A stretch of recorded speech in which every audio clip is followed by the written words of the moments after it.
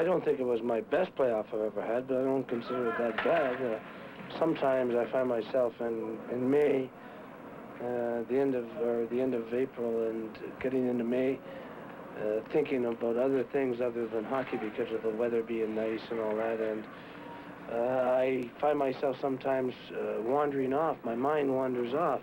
And if I can keep my mind on it, that's fine. Uh, a lot of guys, you know, a lot of guys in this game uh, of hockey, when it comes to me after playing 80 games and 20 playoff games and 10 or 12 exhibition games, uh, they tend to get tired. Uh, uh, I wasn't physically tired. I think I was mentally tired. And uh, I blame myself for it a little bit. I blame our coach for it a little bit. I, I blame my teammates for it a little bit. Mostly I blame myself, uh, of course, because uh, it's up to the individual himself to uh, get up for a game. And, and I, cer I certainly wasn't ready for some of those games, that's for sure.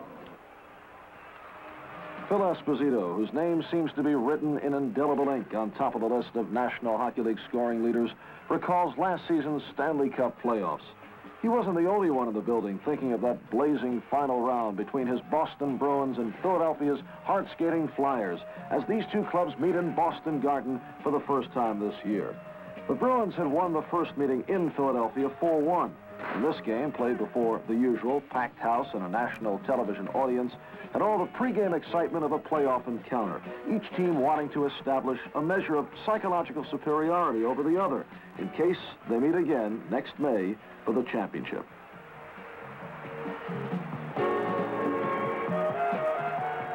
And it didn't take long for the past to catch up with the present, as Philadelphia's tough Dave Schultz and Boston's Carol Vadnais renew their friendship along the boards.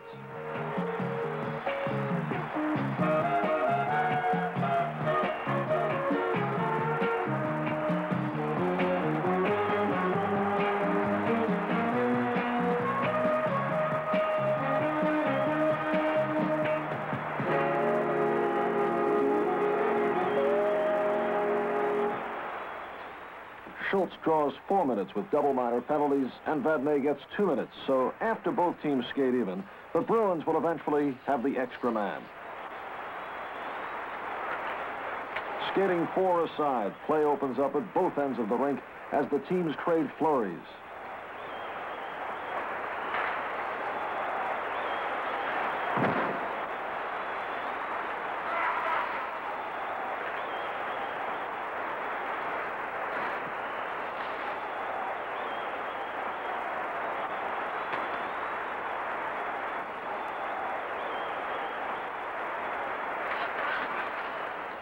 Once again, the familiar images of these two hockey clubs comes back from the 74 Stanley Cup playoffs as the goalies, Philadelphia's Bernie Parent and Boston's Gilles Gilbert, come up with sparkling saves, reminding the fans of their duel in last season's finals.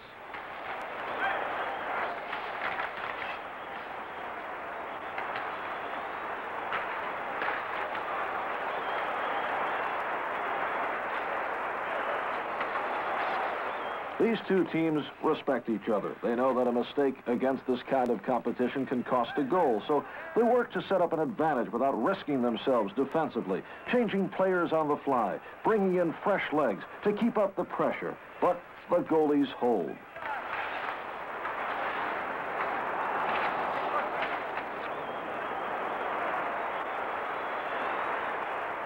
With the faceoff, and the Philadelphia end. Boston wins the draw and sets up with Orr at the point. Esposito in the slot. Wayne Cashman and Johnny Bucyk working along the boards. Out to Orr. The slap shot. Parent saves. And with an anxious Cashman waiting for the rebound, the Flyer goalie freezes his body, knowing the puck didn't go in. But for a second or two, looking like a man wondering how that stolen watch got in his pocket.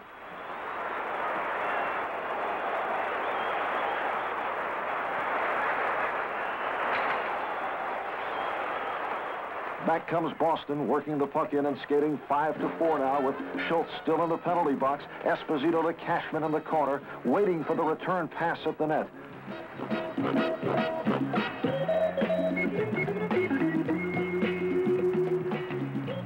Blocked by the defense, Espo has it again. A shot stopped in front. Another shot, and finally cleared.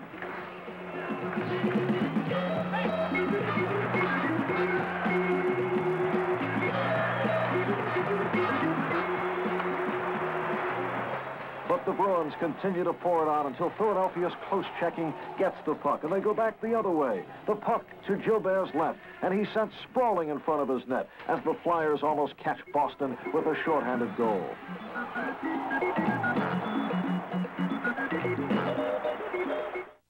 This classic sports presentation is brought to you by the Pontiac Grand Am. Built for kicks, built for keeps. The engineers of the Pontiac Grand Am make excitement a standard feature, right down to the exhaust system.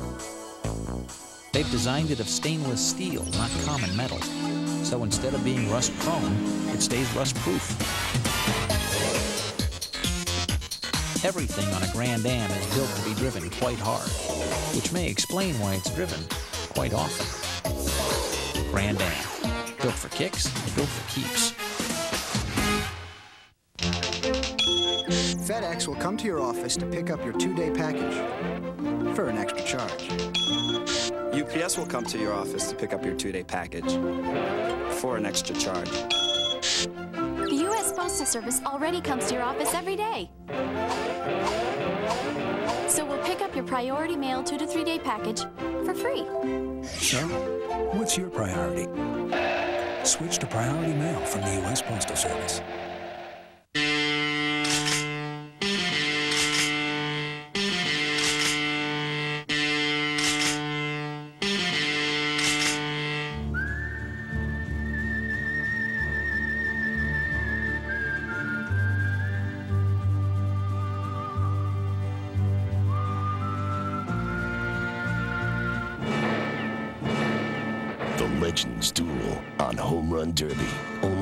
Classic Sports Network. Still only midway through the first period, both teams even now. The game shifts from one end to the other as the action on the ice lives up to its advanced billing.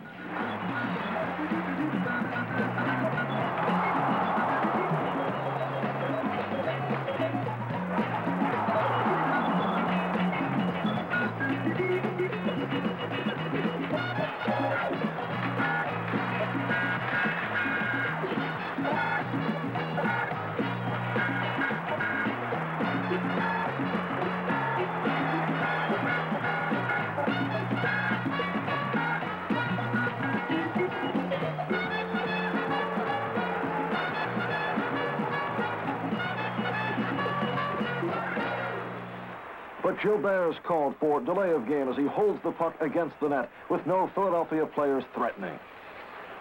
The Flyers get their first power play opportunity. Watson tries to go around Orr, takes the shot, kept in by Gary Dornhoefer.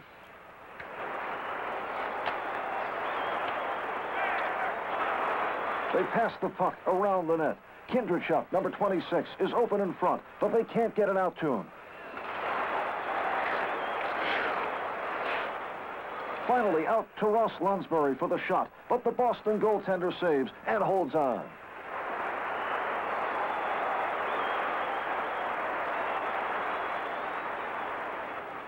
Skating even now with a little over five minutes left in the period. Boston works the puck out of its own zone. And Bruin Andre Savard ties up defenseman Tom Bladon along the boards. No penalty call.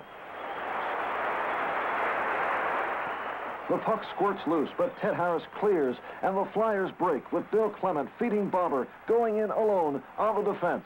Barber spins, waits for help, and the back-checking Savard again wraps his arms around the Flyer. But this time, referee Art Skov blows the whistle on him. And as Boston touches the puck, play is called, and Philadelphia will put its power play to work for the second time.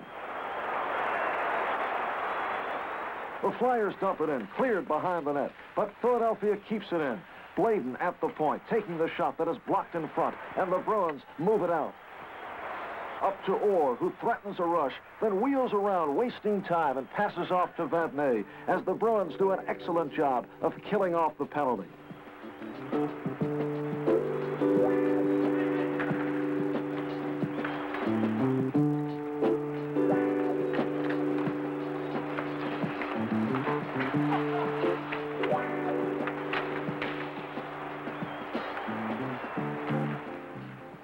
Later, the Flyers pressing now. They keep the puck in play in the Boston end. Schultz taking the puck around the fallen Dallas Smith, and he looks to take the shot. He loses control over to Clement, who passes out to the point man. The shot, and Gilbert holds for a faceoff.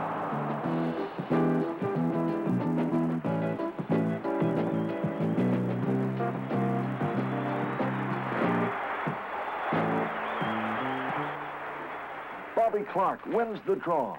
The Flyers spreading out, opening up lanes for a clear shot on the net. And number 27, Reggie Leach, finds it with a slap shot, putting Philadelphia up 1-0 at 18-19.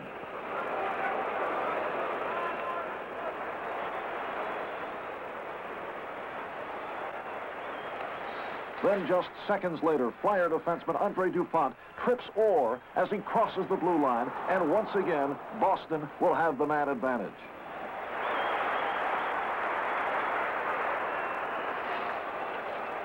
Orr brings the puck up. Back passes neatly to Cashman, and the Bruins quickly work it around, trying to set up Esposito at his favorite place in the slot in front of the net.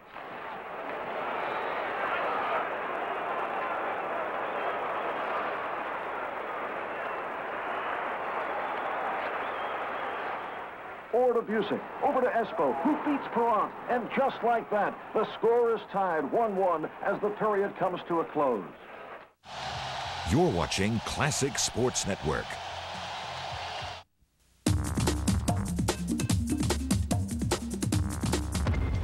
Ever think of driving an Oldsmobile?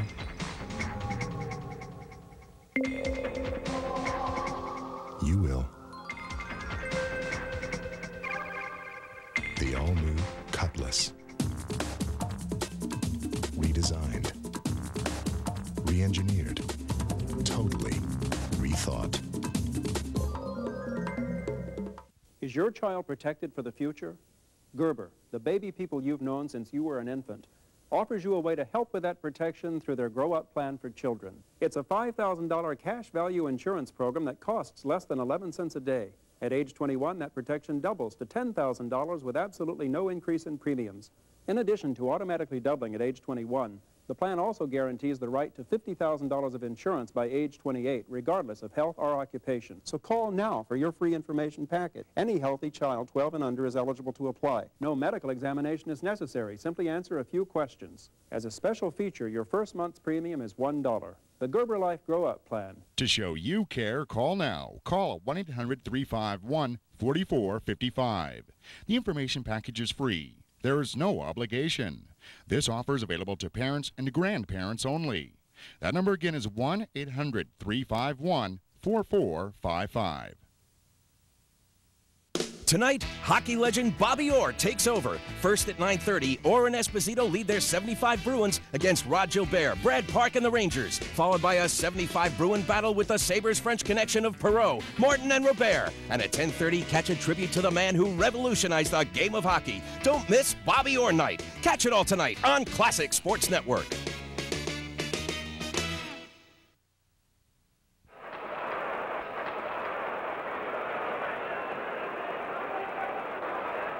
The Flyers get the second period off to a quick start by getting the puck into the Boston zone and right wing Bill Barber into the Boston net. In all the confusion, goalie Gilles Gilbert kept his cool but lost his stick. And luckily for Boston, they were able to clear the puck out of danger and carry the play down to the Philadelphia zone.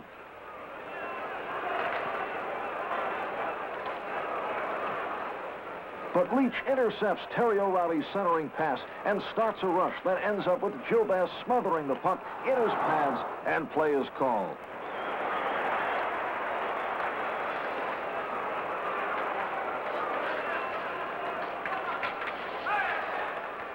Philadelphia has come out red hot, and in these opening minutes, they managed to control the puck, really putting the pressure on, keeping things moving toward the Boston zone. Getting off shot after shot, they forced Gilbert to cover up, and he settles for a face-off deep in Bruin territory.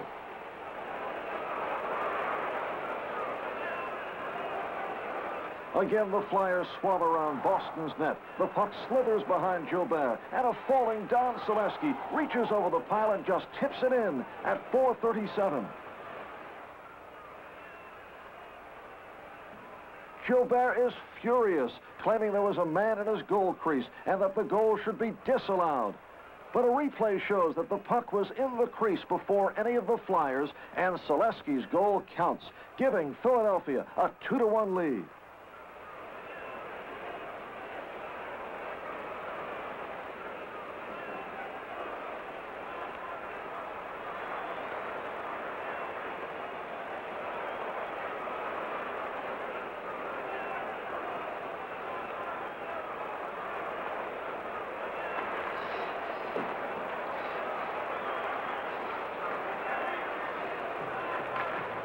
Once again, those who saw these two teams in playoff action are in for a dose of deja vu as the pace accelerates.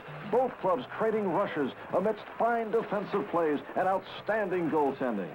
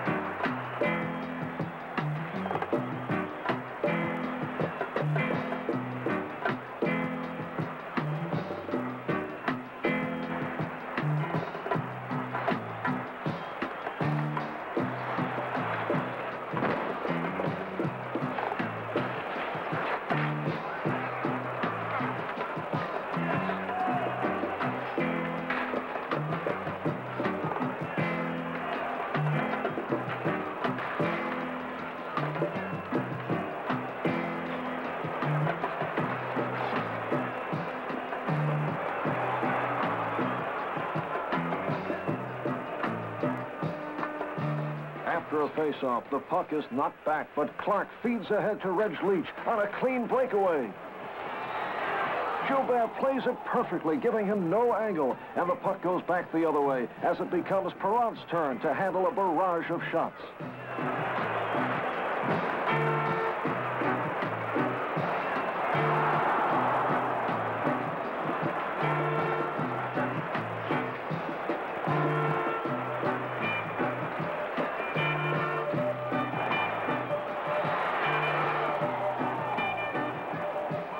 Ice level, the camera captures the heavy body contact these two very physical clubs are famous for.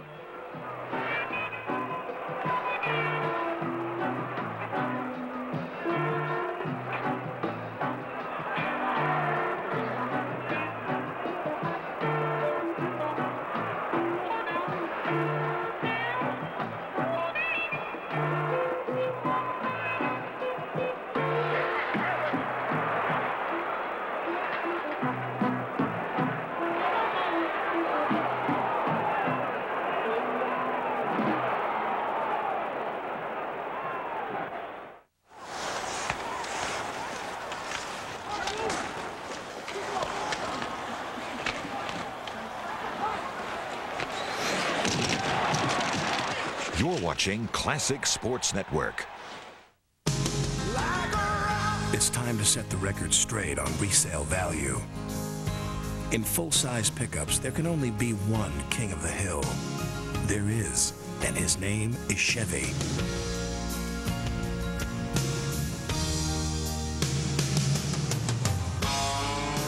Chevy, the most dependable, longest-lasting trucks on the road. Live the king. Ramada is a nice place. Holiday Inn is a nice place. But when you stay four nights at Ramada, you can order one of over 100 Republic Picture videos absolutely free. Here, you'll get four nights older. So you can go home with a great personality or no personality. And maybe that's why last year 23 million people chose Ramada over Holiday Inn. All things being equal, we're better. So call 1-800-2-RAMADA. Emptiness. How can I fill this emptiness? It's not tricky. Eat something, like the $4 Turkey Melt BLT combo. Four bucks for a fresh, hot, hand-carved Turkey Melt BLT side and drink. Only at Boston Market.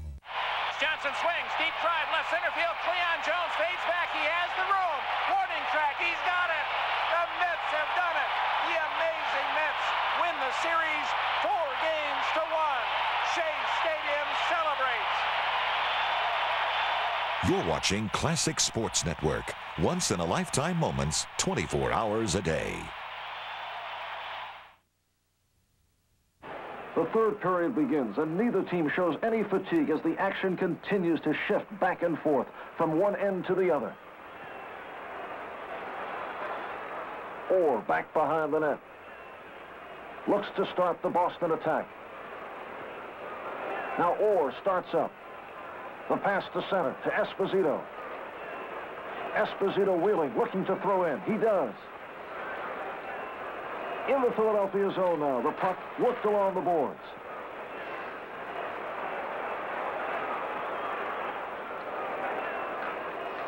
Comes out to Orr, but his pass off the edge of the stick goes right to Bobby Clarke, who feeds up to Barber, seemingly about to split the Boston defense. But Orr's great speed makes up for the bad pass, and he catches up to Barber, riding him off the puck.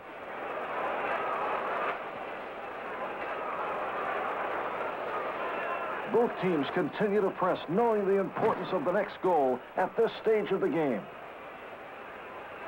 The Flyers look to get it out. Harris winds it around. Now Clement on a breakaway. The shot blocked by the goaltender Gilbert. And here come the Bruins back the other way, led by Gregg Sheppard. Shepard slaps. It is stopped by Parent. Bruins keep it alive as O'Reilly tries to get it out. Now here's Kelly digging along the boards. Here's Kelly to center. Here's Kelly to the blue line. The slap. Glove save made. And Gilbert holds on.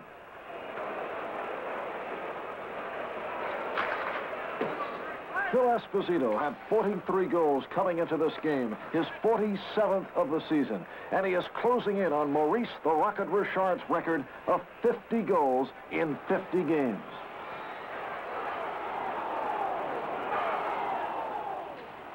I feel that uh, the pressure sometimes is, is, is great on me uh, only because when I don't score a goal, our team loses 4-3, 3-2, 2-1. And uh, I always think, well, if I would have did my job and got a goal tonight, uh, it would have been 2-2 or 4-4 or we would have won 4-3 or something. So and I don't know why I, I do this to myself, but I do put pressure on myself. I figure that I should score goals. I, that's the best thing I can do. Uh, I think in, in my life, really. Uh, so I should do it.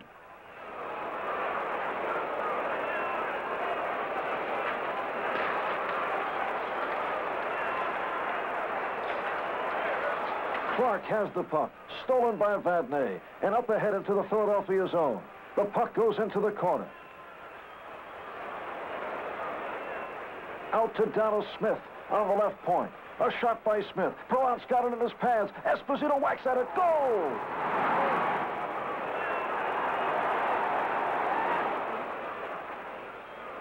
Esposito ties it up at 2-2 at 9.39 of the third period. Here's the replay. Esposito's 45th goal, and Boston Garden comes alive.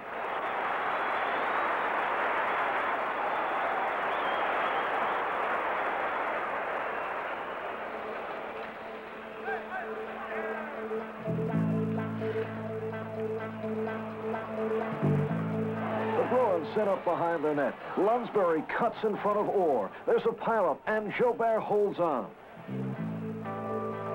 With the minutes of this important game ticking away, Bobby Orr stays on the ice. His phenomenal stamina keeps him off the bench, resting on his feet. By the end of this game, he will have logged more than 40 minutes playing time.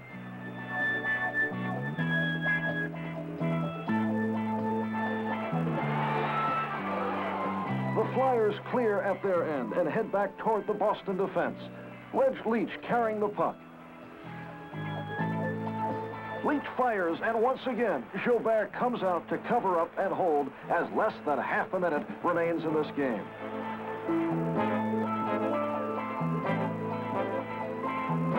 Back in the Philadelphia and the Flyers clear around the net. And these two teams who played so evenly today will finish tied at two goals apiece.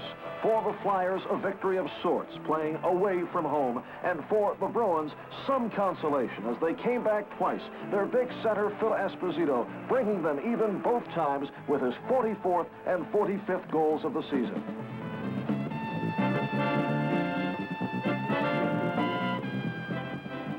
So uh, there's going to be a, come a day when I might get 35 bulls, which is in, uh, for other people are, is a great year.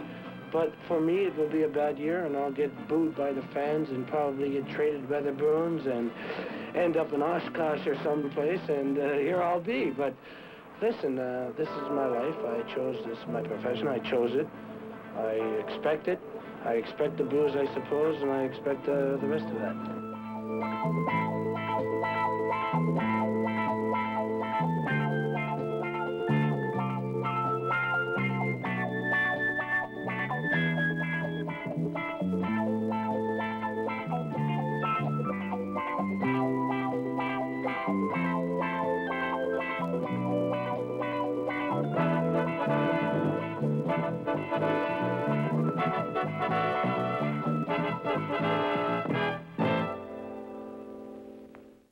Future NBA greats Artis Gilmore and Moses Malone in an NBA Dunk Fest. It's a rare and exclusive tip-off called by a young broadcaster, Bob Costas. To the line, to the lane, to the hoop, put it up, put it in.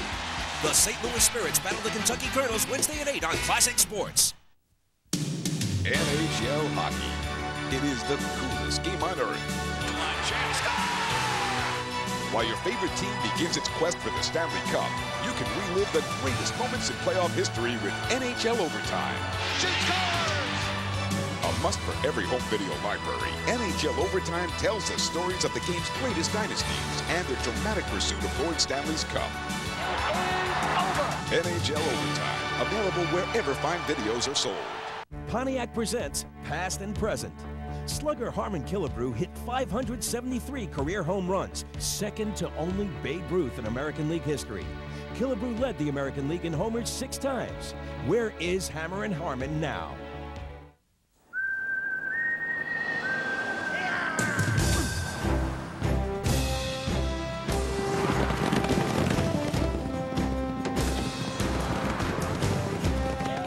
Introducing the rugged new Montana from Pontiac.